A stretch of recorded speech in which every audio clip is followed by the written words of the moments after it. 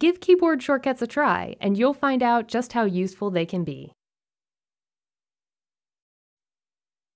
Keyboard shortcuts are a combination of keys you can press on your keyboard to perform a variety of tasks you'd typically use a mouse to do.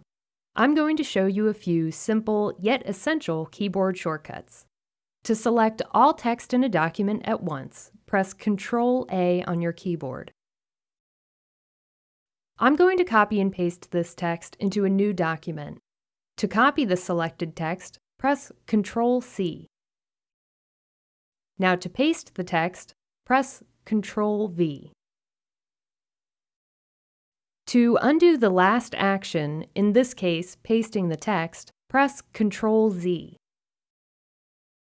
Press Ctrl Y to redo the last action, and the text is repasted into the document.